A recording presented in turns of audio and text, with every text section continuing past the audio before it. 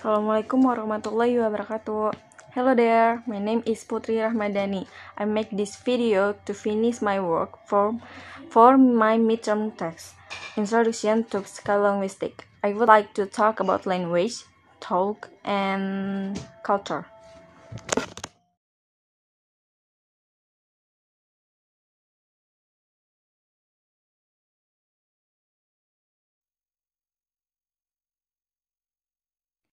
Language is a complex thing for human communication. In the communication domain, every language in the world is different from one another in terms of language and culture.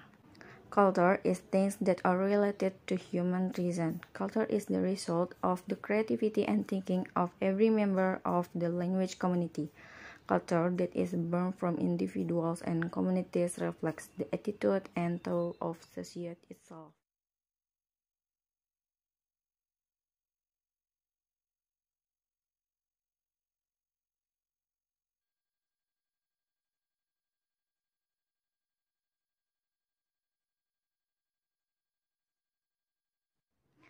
The diversity of the world language from a linguistic point of view ranges from distinct differences in pronunciation and vocabulary to differences in grammar that are more complex.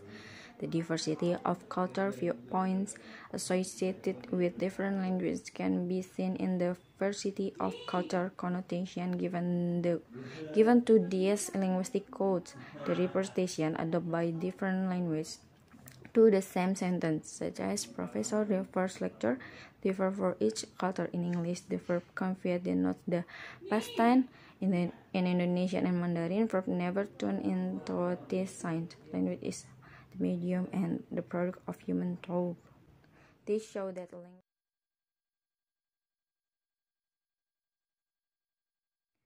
Language is a complex thing for human communication. In the communication domain, every language in the world is different from one another in terms of language and culture. Culture is things that are related to human reason. Culture is the result of the creativity and thinking of every member of the language community. Culture that is born from individuals and communities reflects the attitude and thought of society itself.